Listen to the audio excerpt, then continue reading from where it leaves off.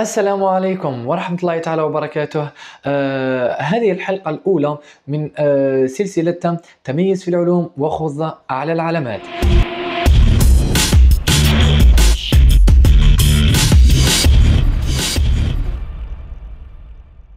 طلابنا الأعزاء آه، باش تقدر تدي أعلى العلامات وترفع النقطة تاعك في مادة علوم الطبيعة والحياة آه، وتحصل على المراد تاعك واللي هي العلامة الكاملة أو أو العلامة الجدا مرتفعة في مادة علوم الطبيعة والحياة. يلزم تعرف واش واش راك مطالب تتلقاه في هذه السنة سنة البكالوريا يعني لازم تعرف الركائز تاع مادة علوم الطبيعة والحياة اللي تقدر به تحل السوجي تاع البكالوريا وتدي فيه اعلى العلامة.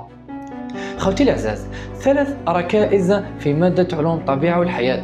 نهضروا على الجانب التطبيقي اللي تحل به التمرين اللي تدي اللي تحل التمرين كامل وتجيب لي اعلى العلامات. الحاجة الأولى اللي لازم تعرفوها وهي الموارد المعرفية. الموارد المعرفية هي الدروس اللي يلزم تتحصل عليها. الحاجة الدوزيام اللي هي الموارد المنهجية طريقة الإجابة. كي نسمع التعليمه وش كيفاش نجاوب؟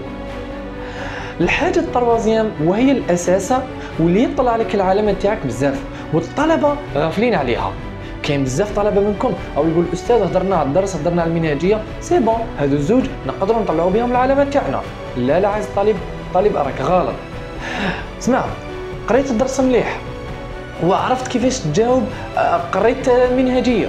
لكن كي تجي تجاوب في التمرين كي تجي تحصل التمرين تاعي تصيب دائما النقطة تاعي هابطة أو دائما تعجز أو تحل التمرين. لكن كي تجي تقارن تصيب الفكرة تاعك كانت خارج واش يلزم آه يكون في التمرين أو خارج عن المشكلة العلمية المطروحة في التمرين. على هذيك الأساس وهو رقم ثلاثة يتمثل في كيفية التفكير السليم أثناء حل التمرين. بون في فيديوهات قادمة بإذن الله راح نتحدث على كل ركيزة من هذا الركائز.